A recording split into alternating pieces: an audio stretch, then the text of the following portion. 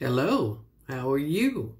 I've been so excited to do this cameo. I went and got a haircut, got my eyebrows done, uh, put on some makeup and my favorite uh, sweatshirt and four of my favorite earrings just so I could uh, properly uh, thank you for all the love you've been showing me. Uh, it means more than you know.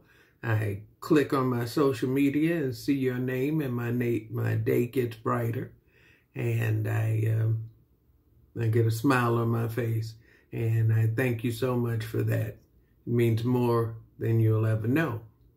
And I also would uh, love to uh, do your podcast. I am so very intrigued by your embrace of uh, West African religion as it manifests itself in this new world of ours.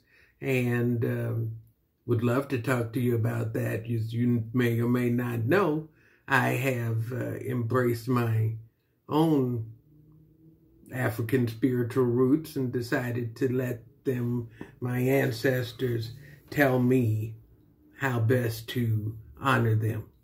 And uh, that led me to formulate my own religion, the uh, Church of Shesus, the original African mother god, and uh, who is uh, lives in all of us and imbues us all with godliness and the ability to create life in her image. And so, if that's something you want to talk about or anything else you want me to talk about, uh, let me know.